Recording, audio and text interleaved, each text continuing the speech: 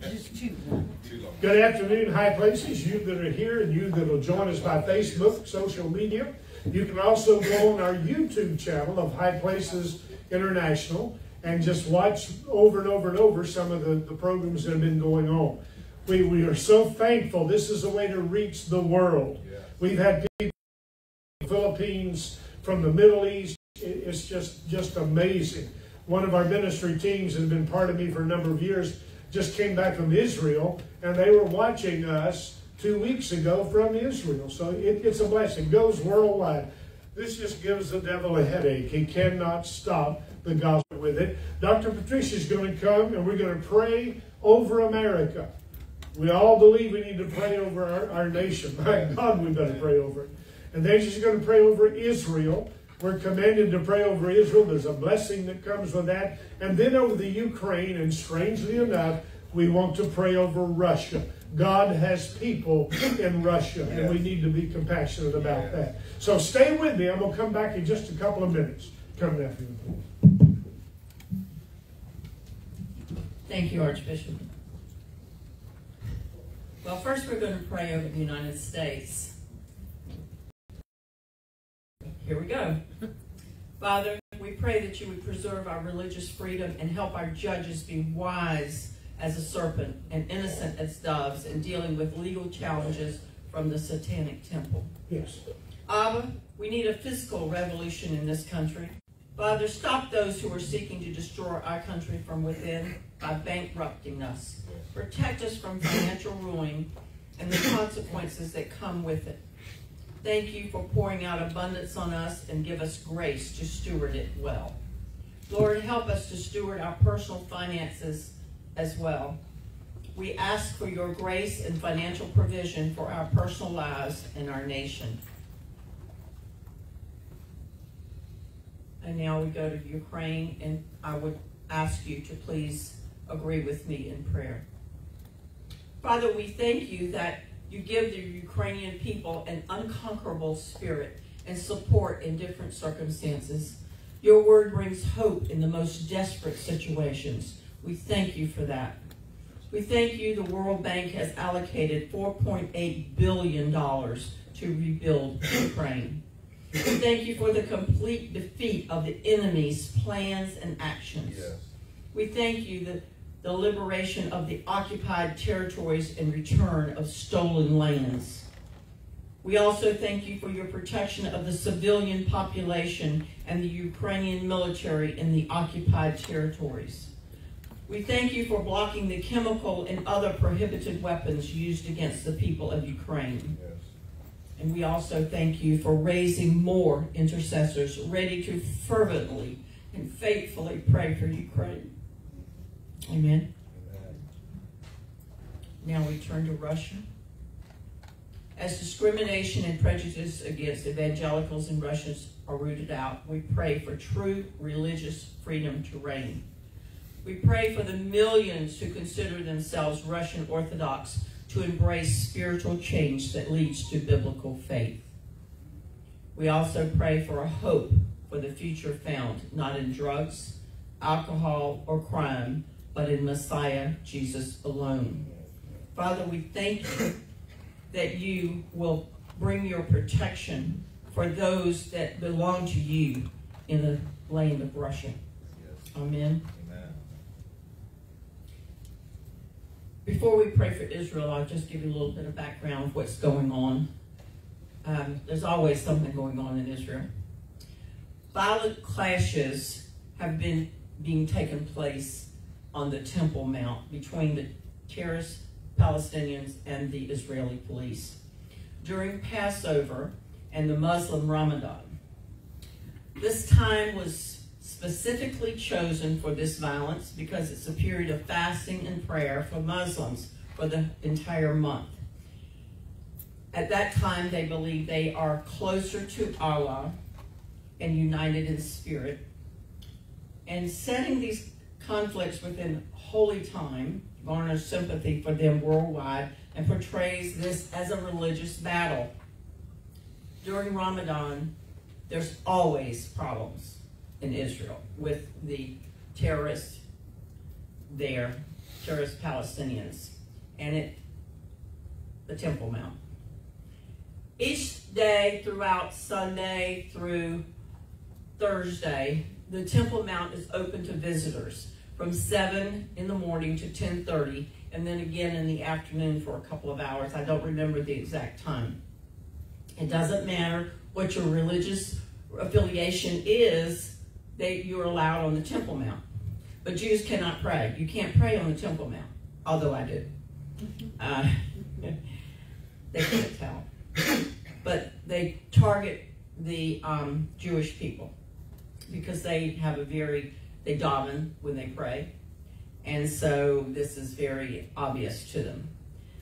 So now the Palestinian propaganda machine is portraying these visits by the Jewish people as storming the Temple Mount. And the Palestinians, you know, they put this out, and then the Palestinians, not knowing any different, are responding with stones and projectiles. And unfortunately, rather than standing strong against these attacks, the Israeli government of change, does that sound familiar? Headed by Prime Minister Naftali Bennett, is intimidated by these threats. And so he has ordered that once Passover is over, which it is, it was over Friday night, the Jews will not be allowed on the Temple Mount for 14 days for two, you know two weeks after this. And as always, whenever the Jews are attacked, it's always the Jews' fault. And we know, and they, they must pay the price instead of something being done about what's being done against the Jewish people. This all ties in with the Quranic machinations or secret plots. A Muslim cleric has determined, listen to this, that Israel will cease to exist on July 8th, 2022. Uh-huh. This insanity with the Temple Mount fits right into the whole scenario of what they're, they're trying to accomplish. So please, please continue to pray for the peace of Jerusalem and peace within Israel. Yes. So now we'll, we'll start our prayers for Israel. Yahweh, we ask you to save your people, the remnant of Israel, we specific, specifically ask for you to save the new immigrants, terror survivors, and terror victims' families. We ask you to also save Holocaust survivors and families, elderly Israelis, Israelis in the IDF and their families, medical professionals and teachers, politicians, drug dealers, and sex traffickers, prostitutes, criminals, widows, and orphans. We ask you also to Look to those and save those in the various gay communities, the many settlers who love your land as well. We ask you to save multitudes of ultra Orthodox, secular, and traditional Jews. We ask also all the unsaved loved ones in the Messianic Jewish families come into your kingdom as well. Father, we pray for the Jews in Israel who are unable to worship without facing threats and violence. Protect your people and guard the nation of Israel against Islamic ter terrorism and other threats. Since we're still in the month of Ramadan, Father, we ask you to reap a huge harvest of Muslims for your kingdom. We ask you to confront terrorists on their way to murder Jews. Put your terror on them and save them. We ask all of this in the name of your precious Son, Yeshua HaMashiach, Jesus the Messiah. Amen and amen. Thank you for agreeing with me in prayer. I apologize for getting um, a little emotional, but these Muslims need to come into the kingdom too. Yes. God created them. They don't belong to him right now but we can pray that they come in. And countless Muslims are coming in. They're seeing Yeshua appear to them in dreams, and they're coming into the kingdom. They're believing a lie. So please keep the Muslims that need to come into the kingdom in your prayer as well, as well as the others there. Thank you. and may you have a week filled with much shalom. Amen.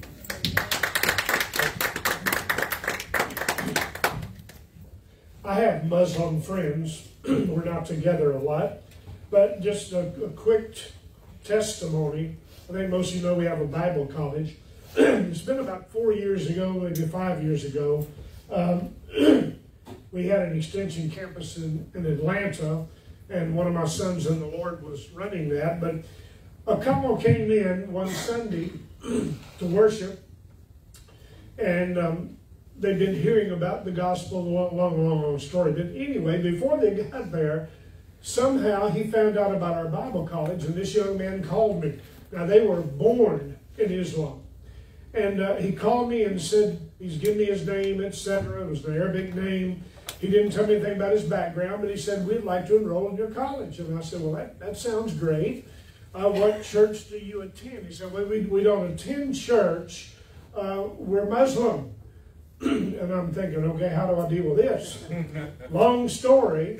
They enrolled, him and his wife both. They went through our associate degree program, which is all basic Bible. They went through the bachelor program, graduated, went through the master's. But during the, the mid mid term of the associate degree, when we were talking, uh, uh, I forget what the subject was, they both accepted Jesus. And then when they graduated in the bachelor degree, their parents came their parents accepted Jesus. Now, my, my point is this don't ever discount a small thing that God may be doing. He does big, big, big things. Amen. Well, I want to talk to you about something I believe is very important today. It's going to help us. Um, Father, thank you for your word. Your word is anointed. Thank you that I'm anointed to speak, and thank you my voice holds out in the mighty name of Jesus. There's many times in life when we go through things that we sometimes say this makes no sense. Anybody ever been there? Six times this week, I got texts from past, uh, pastors. One was this morning. And they described what they were going through, and they said, I just want you to pray with me and pray for me. What I'm going through makes no sense. And they're telling me this, and I just want to respond back and say, Get on the bus, Gus. Well, I'm already there. I understand. But there are things that happen. You don't understand why. You're questioning God. You know, we pray. Now, this is not negative, so stay with me, you that are watching too. We pray, we study, we declare the Word. I know this Bible. I'm so thankful for 55 years. I have read it over and over and over and over and over and over. Sometimes Angie will ask me something, and just to test me, say, Where is that verse at? And if, even if I don't know, I'll make it up. no, all, oh, about 99% of the time I know where, where that verse is, but it's because I've studied it. However, just because of that doesn't mean that everything changes for me overnight. Yeah. Things happen, and I wonder, why is this going on? Why is this going on? Even Moses, the one that led the children of Israel out of bondage after 400 years and captivity in Egypt. He prayed in Psalms 90 and he said, Lord, how long? Yeah. How long are you going to wait and return and give compassion on your servants? Now, if Moses prayed that way, something must have really been going on. He was going through one of the worst struggles of trying to get Israel organized in the wilderness. Now, what we've heard so long and we've prayed and prayed and prayed over the problem that sometimes God's doing something, obviously, we don't see. But if we're not aware of it, I mean, if we're not aware of the way we're feeling, we're not going to see the answer that He's providing because sometimes it's a little obscure. Now, God's aware of everything we're going through. I know we say that. I know we know that. And another thing, He knows everything you're going through. He knew it before you got there. But you might be saying, then why am I going through it? Sometimes bad decisions put us in it. Sometimes desires put us into it that God doesn't. See, you need to understand. I think everybody does, but just in case you don't, God doesn't have any evil. He doesn't send evil. He doesn't give evil. And I heard a preacher say this years ago, and I thought, my, my, my, my, where'd you go to school? He said, God employs the devil to tempt us to see what we're going to do. That, that's a double, not stupidity, I'm sorry. That's a double negative. First of all, God knows what I'm going to do. He doesn't have to test me to see how I'm going to react. Right. Doesn't he know this? He's God. Yeah. And secondly, he does not employ the devil. He fired him over 6,000, 10,000 years ago when he kicked him out of heaven, Lucifer, for trying to exalt himself above God. So my point is this, if we're tempted, if we're troubled, going through the thing, don't blame God. Just ask, Lord, how do I get out of this thing? Or how do I deal with this until I overcome it? Yeah. I've taught this many times. I'll do it quickly, but we know there are demonic forces in the heavenlies, yeah. in the heavens above us, demonic forces. And I'm not going to get weird on this, but I just want you to understand. They've been loose over every nation, over every country for generations. The reason that terrorism goes like it goes, the reason things go on in other nations that we see, even in America, is because of the spirit that is in the atmosphere that influences decisions. Yes. Ladies and gentlemen, we don't always make our own decisions. We're influenced by them. Either we're influenced by God, or we're influenced by the flesh or desires, or we're influenced by the devil. Now, we don't give him any praise for that. But the point is this these demonic forces are active in the heavenlies. There's a warfare that, that uh, John talked about it in Revelation. So we know this warfare goes on. It goes on to withhold your finances. It goes on to, to uh, block your your, breakthroughs of getting free. It, it goes on to prevent you from being successful, afflict you, destroy you, etc. Jesus said this, where John 10, 10. He said, the thief, which is the devil, comes to steal, kill, and destroy. But he didn't stop there. He said, but. Everybody say, but. but. He said, but I have come that you might have life and have it more abundantly. The word abundantly means this life without measure. Yeah. Now, that's what he wants us to have. Yeah. Now, that does not mean that every day of your life, I wish it did, but it does not mean every day of your life you got a smile on your face. We have a dog that has a smile on his face every day because he doesn't have a hard life. He's fed, he's walks, he's he just does everything he wants to do. But we don't have that smile every day because things will happen that'll try to steal it. But you make a decision. Yeah. I'm not going to let anything steal my joy. Yeah. Scripture said the joy of the Lord is our strength.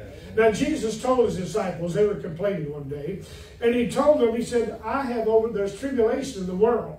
There's trouble out there and you're going to experience it, but cheer up. I've overcome it. In other words, I've made a way that you can overcome eventually, baby, every problem and every situation. Yeah. Now, in the book of Daniel, and I've talked about this before, chapter 10, Daniel was a prophet. He was an end time prophet.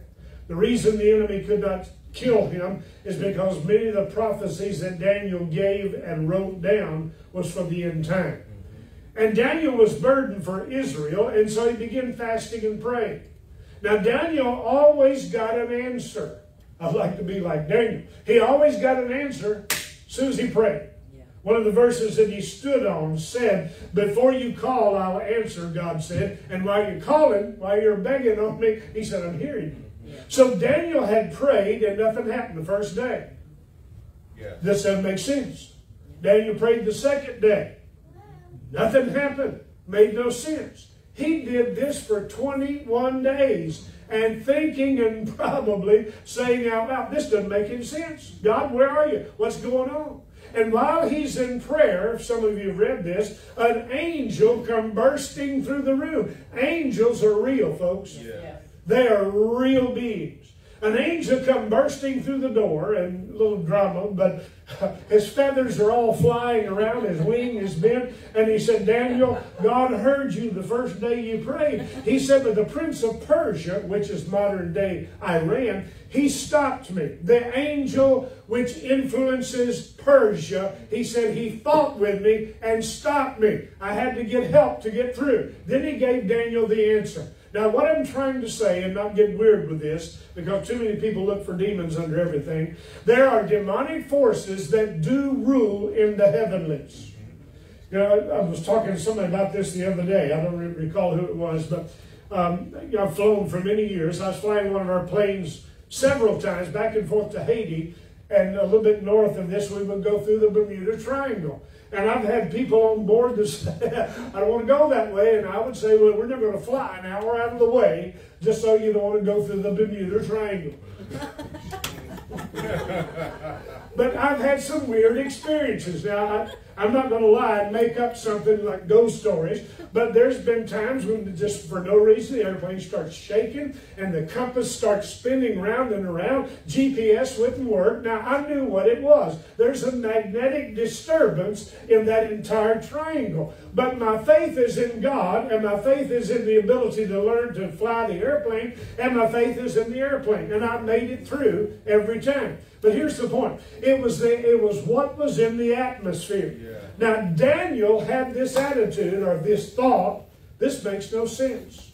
Why am I not getting an answer right now? It was spiritual warfare that was holding him back. Yeah. There is a spirit over Washington, D.C. President Trump used to call it the swamp. It was. That's it was a swamp before it was dug out to even be the nation's capital. But there is a spirit that influences politicians. Young men and women with courageous men and women, well educated beyond measure, go there with good intentions, and many times those intentions are overcome by temptation, are overcome by someone offering them the moon. And they turn out not to be what we thought they were when we elected them. But this same type of thing, it rules over territories, it rules over nations. Why do you think all of a sudden people just go nuts and they want to riot in the streets? Was it because of an incident that happened? Probably so, but there was an influence yeah. in the atmosphere yeah. that caused them to be that way. And now, have you ever heard somebody say, I don't know why I'm like this? I, I just don't know why I'm like this. Well, sometimes you're influenced by something that you've given place to. Hello? That's right. Now, here's the thing. I'm going to up and get away with Daniel. Daniel did not resign himself to the cliche. Now, this may be offensive. He didn't say it is what it is. now, that sounds good. That's a modern professional cliche. And it's okay. However, Don't settle with that of it is what it is. That's saying nothing's going to change, so live with it. Uh-huh. You ever had somebody tell you, get over it? Yes. Yeah. You want to get over it, all right? Amen. But it is what it is, yes. But if we develop that thought life, if we develop even that confession of saying that over and over, even though it's modern, it, it's popular, it's professional, it's saying nothing's going to change, so I've got to find a way to live with this. No, God did not design you and I to live below what He desires, which is His blessings. He did not design us or give us life so that we would live in a situation that just makes us want to get out of life. He didn't do that. Amen? Amen. Excuse me. Daniel knew things were going to change. 2 Corinthians chapter 4, verse 17 and 18. The things which we see, the Apostle Paul said, are subject to change. So everything you see, everything you go through, it's subject to change. In other words, it will change. How do we change it? We beg and plead with God? No, but we use His Word. But let me hurry on with this. When Israel came out of bondage out of Egypt, and most of us know the story, they've been there for over 400 years, generation after generation. And when they came out, some of the Egyptians came with them to serve Jehovah God. And I don't believe Moses wanted this, just one verse of, of an indication, but they came out with them. And the whole time they're going through the wilderness, just after a, a couple of couple of months, Something's going on. They're starting to complain. God just set them free. 20 years of slavery. They, they, they, in 24 hours, they received 400 years of back wages. Silver, gold, jewels, livestock, linens, uh, silks, everything was poor. And they had nothing before that moment. Yeah. Worshipped idols. This group of Israel wanted to worship God, yeah. Almighty God. Yeah. But now, because there was such a strong influence of Israel being there for that 400, uh, almost 20 years, educated in, in the Egyptian religion, the Egyptian edu- everything. They were they were just filled with this. But now here's this group influencing them. Remember, some of you remember the story when Moses went up on the mountain and God was giving him the Ten Commandments. That didn't just happen in the movie. That really happened. Yeah. God wrote the commandments with his finger. He didn't mean ten suggestions. He said these are commandments. Now, while Moses is on the mountain for 40 days, remember that someone began to say, He's not coming down, He's been gone, and blah, blah, blah. And so they built a golden calf. Every one of them poured the gold that they had that had been given to them, and they made a calf, and they're dancing around this calf. Now, Israel would not have done that, but it was the influence. My point is the spirit over that area and in those people influenced them to do what they were doing. There was a group in, in the book of Joshua called the Jebusites, and they were they were a, an evil people. Some of history shows that they were cannibals, yet they remained with Israel. Nothing Israel seemed to be able to do, nothing Joshua, who took over after Moses, nothing they seemed to be able to do could get rid of these guys.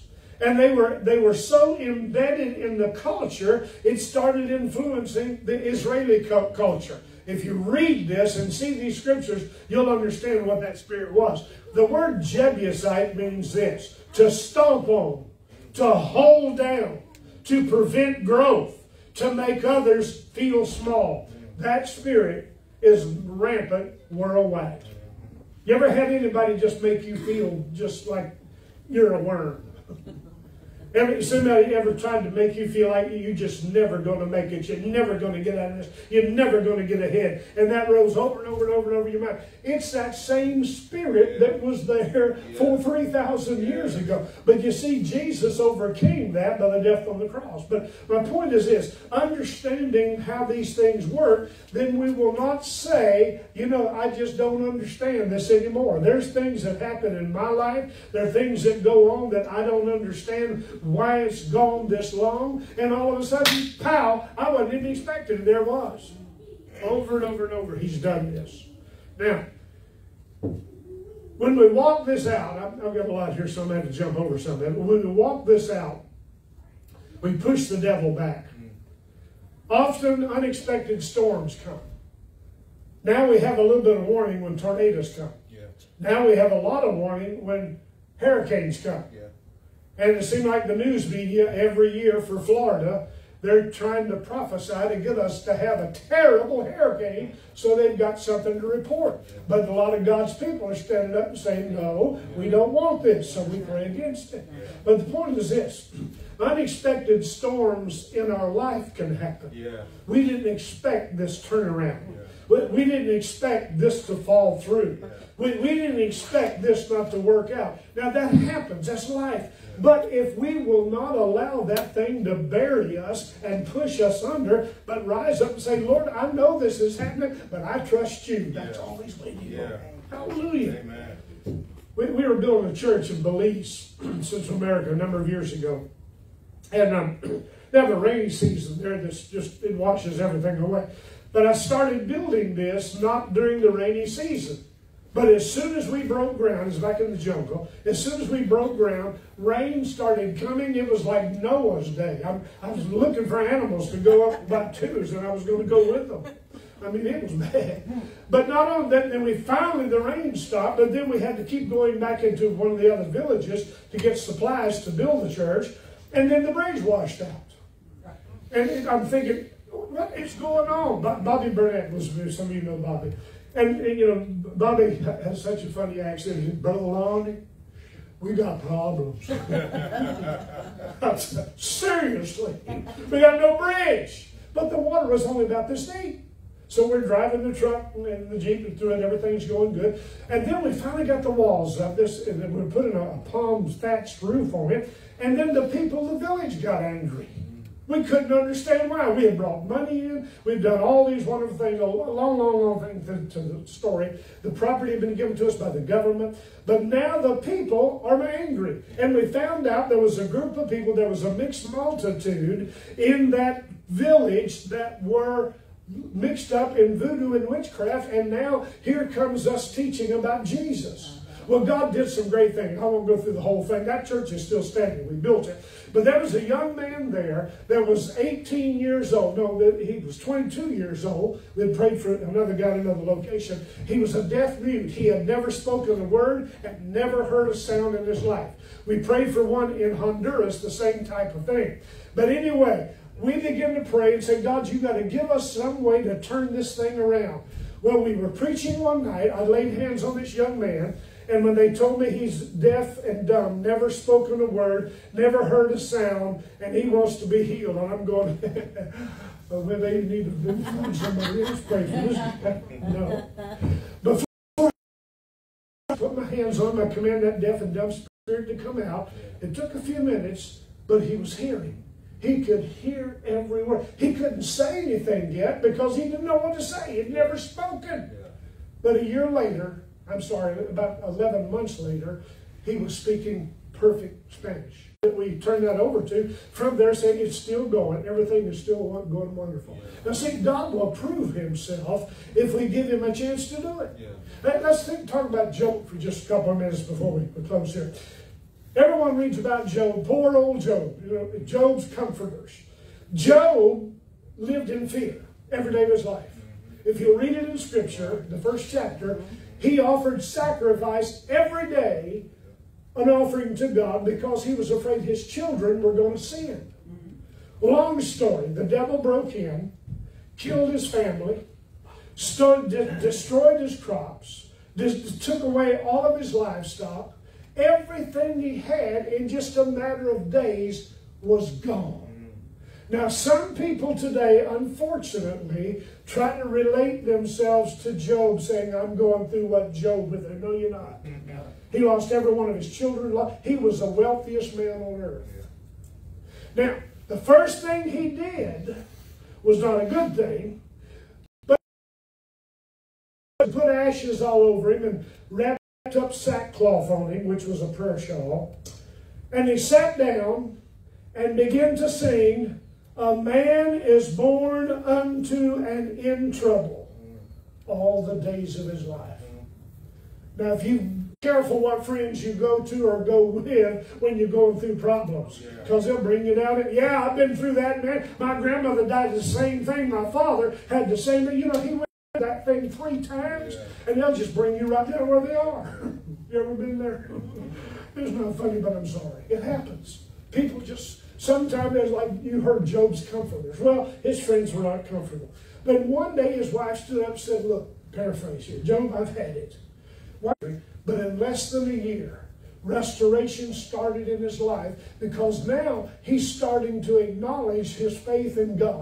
He's starting to acknowledge that he trusts God. He's starting to acknowledge that God is who he says he is. See, Job did not resign himself to the situation of trouble that he wasn't going to get out of it, but he realized again who God really is. Yes.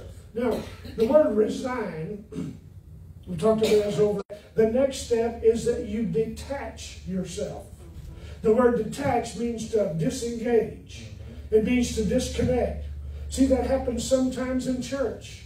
Some things can happen to us, and we detach ourselves because we don't know just how to deal with it. Yeah. I say it over and over and over. I've been in church three quarters of my life, 55 years. My God, it tells me, man, I'm old. At least I'm not having a 75th um, high school reunion. That's a joke. Jesus was talking to his disciples one day, let me hurry here. And metaphorically speaking, he said, Eat my flesh, when we do communion, eat my flesh and drink my blood, and you'll have life in you. And there's 70 disciples following him now, and they said, Lord, this is a hard saying. Who can do it?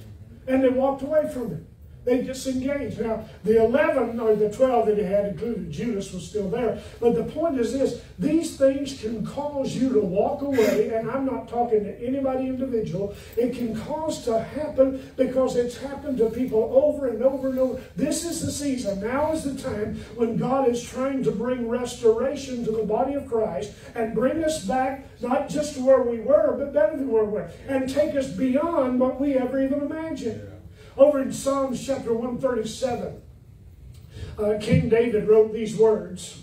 And I, have shared the scripture before. It was actually a psalm. He said, By the rivers, now listen to this, by the rivers of Babylon, yeah. we sat down. Mm-hmm. Yes, we wept mm-hmm. when we remembered Zion. Now, what he was saying is, we're crying because we remember how it used to be. Yeah. It ain't going to be like it used to be. You hear me? Never again. Yeah. That's good news. Yeah.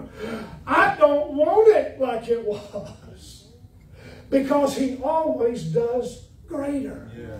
David said, We sat down by the rivers of Babylon and we hanged our harps yeah. on the willow trees. There's an old message that says, Hanging harps and weeping. But, and then he said, The enemy said to us, Sing us a song. And he said, How can we as Zion, how can we as the church sing a song in a foreign land? And to the translation, how can we sing when everything is upside down in my life? Yeah. He was remembering the way it used to be, and God was, He's faithful. He'll always, even him, one of his disciples, will always remind you the way it used to be. Mm-hmm. And when you think about the way it used to be, then you can't see what it's going to be. Let me hurry on with this. I've only got just a little bit left here. Let me take you back real quick. We talked about Jesus' death and resurrection last Sunday. But the disciples were in a situation with Jesus gone now. It made no sense. Everything he taught us, the miracles every day, the, the, the preparations, everything every day. And now he's gone. What do we do?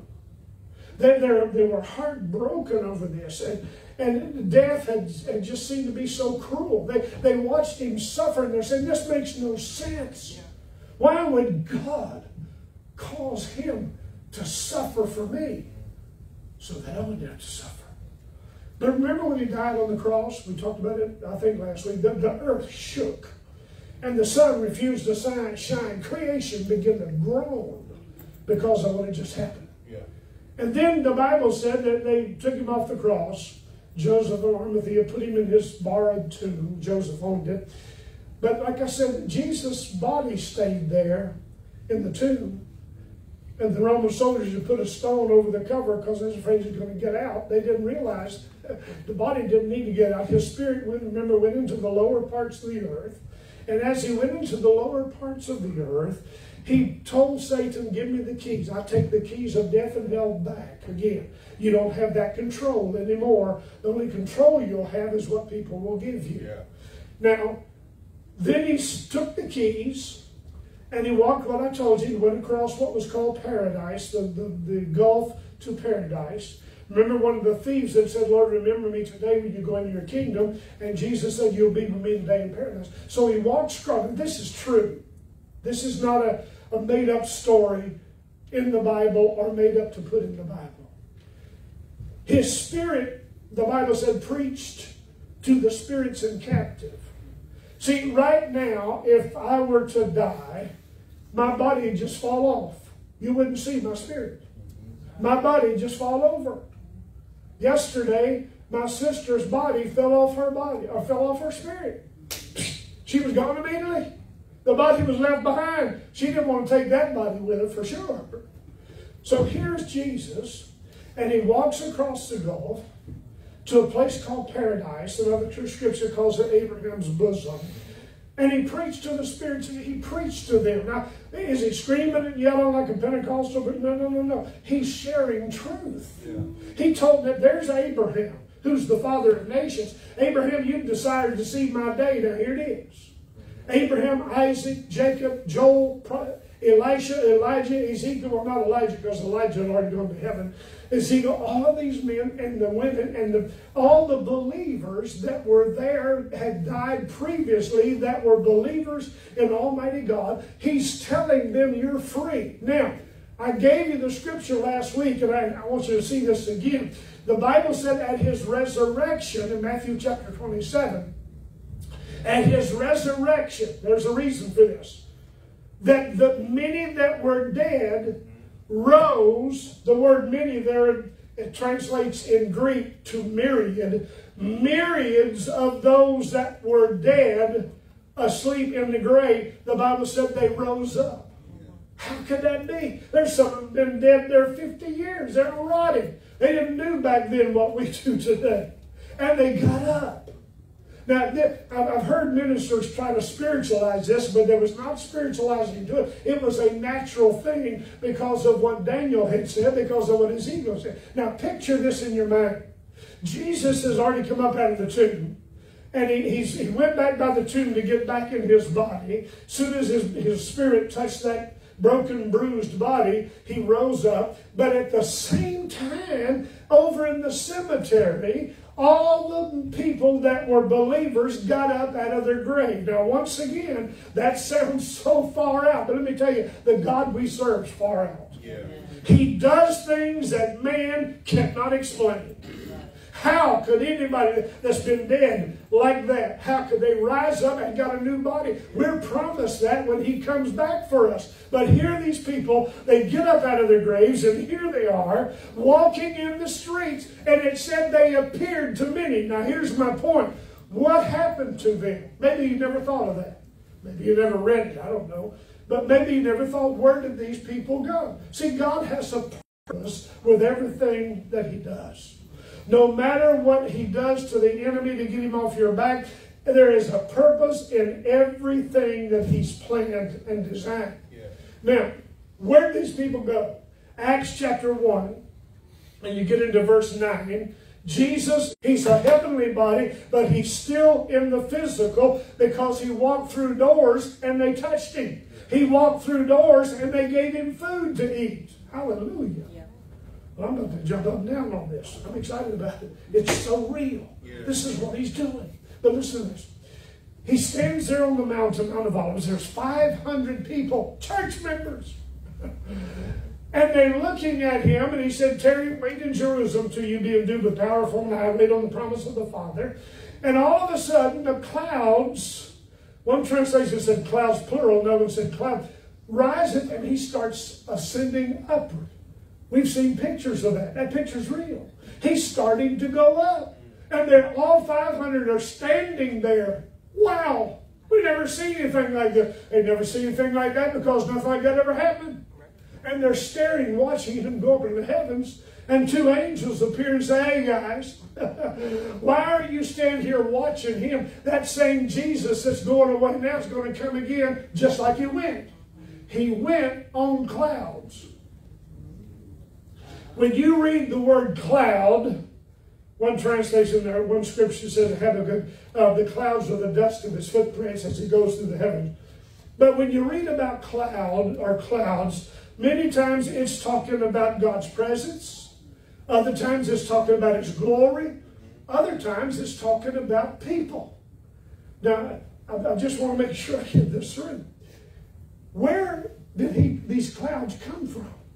Where did those people that came out of did they get buried again in the graves? Now you, you might say, what does that have to do with the problems I'm going through? My point is, He will raise you out of any pit. He will raise you out of any grave the devil's trying to put you in. He will raise you out of any situation and give you life. Yeah. Now, as He's rising up, the clouds are with Him. He's on a cloud. But the angel said he's going to come just like you went away.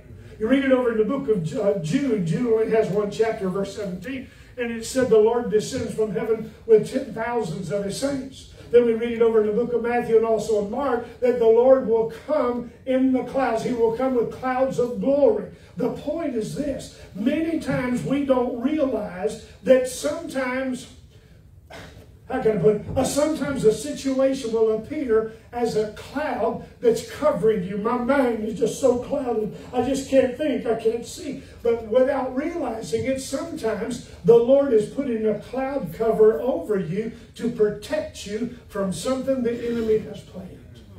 Well, I thought that was pretty good. the millennial reign that he's going to bring when he returns to us. I've jumped over a lot of things here.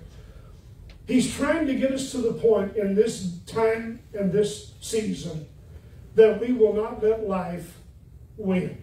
Mm. I mean, the, I'm talking about the negatives of life. We yeah. won't let it win. Yeah.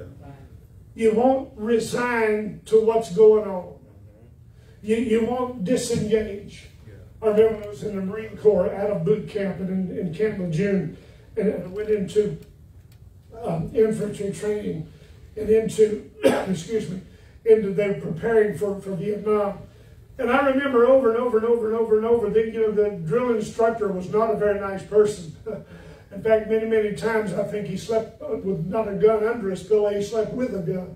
Because he was just, this guy was meaner than, than a junkyard dog. But he was trying to do something to those that he was training. Now, God trains us gentler than that, but he's such, to such a point that he doesn't want you to give in to what's going wrong in your life. Yeah. And I remember I was training for recon, and some of the things that they were telling me I was going to have to do, I, am thinking in my mind, Mama, man, I shouldn't have joined this place. the Army drafted me, and I went stupid and joined the Marine Corps. But anyway, my point, I went through that training, and it put something on the inside of me. I believe my earthly father did some of that to me too, just like yours did to you, Bo. My earthly father put something in me. He was in the Navy. And his thing was, I don't care how bad it gets, don't give up. You're a winner. They didn't know stuff like that 50 years ago. That was not taught back then. You know, there's some of the things that were taught, but he would always tell me, son, if you give up, you'll die in what you're going through. Don't give up. You'll win. You can win over every single circumstance that you ever go through. And I realize this, and I, not only did that help me when I was in the Marine Corps, but it's helped me over all these many, many, many years of ministry. I've been deceived. I've been betrayed. I've been robbed. I've been lied on. If I was able to do, if, to do everything some people have said against me over the years, I haven't lived long enough yet. But the point is this none of that matters. Because yeah. I know that I know that I know who I am and I know who loves me. I talked about this song the other day, but I heard this in my spirit a few days ago again. I don't listen to country music anymore. I, I used to. Nothing wrong with it, but you know, even if you don't drink beer, it makes you sad you want to drink a beer just to cry, it's, it's, terrible. but Willie Nelson's song, 20, 25 years ago, You're Always on My Mind. I heard this this last week, just as clear, not Willie Nelson singing. It was a voice that I'd never heard. Mm. Just so soft. Because I was sulking about something. It was not, nothing bad, something I was dealing with personally. And I heard the Lord sing that to me.